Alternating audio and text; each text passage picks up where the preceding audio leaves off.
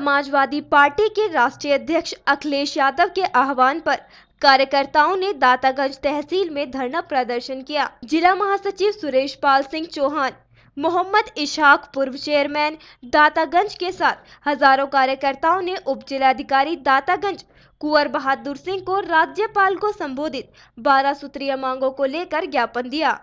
इससे पहले प्रेमपाल सिंह यादव पूर्व विधायक ने प्रदेश सरकार पर जमकर भड़ास निकाली, कहा कि पेट्रोल, डीजल, रसोई गैस, बिजली दरों में बेतहाशा वृद्धि। यातायात नियमों के नाम पर भारी जुर्माना, खाद्यान्न वस्तुओं में वृद्धि एवं बेरोजगार नौजवानों को रोज़गार देने का वायदा करके भाजपा सरकार धोखा दे रही है।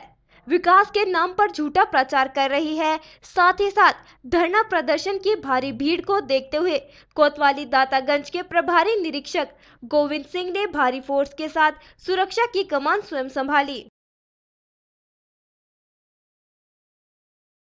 वो इसलिए कर रहे हैं, राष्ट्रीय अध्यक्ष के आह्वान पर जो किसानों, बेरोजगारों की समस्याएँ हैं। भारतीय जनता पार्टी किसानों को लूट रही है परेशान कर रही है। उसकी वजह से राष्ट्रीय अध्यक्ष जी ने ये निर्णय लिया है कि हमको कार्यकर्ताओं के बीच में जाना है और तहसील स्तर पर हर जनपद में हर तहसील स्तर पर ये धरना प्रदर्शन के माध्यम से सरकार को आगाह करना है कि अपराध करना बंद कर दें। तो सर आप कुछ और भी कहना चाहेंगे? जी। आप कुछ और भी कहना चाहेंगे?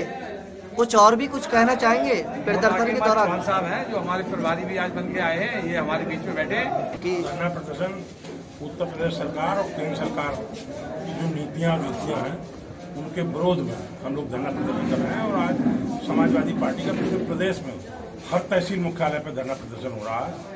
जो भारतीय जनता पार्टी की सरकार ने पिछली समाजवादी पार्टी की सरकार के समय के जो कार्यकलाप थे।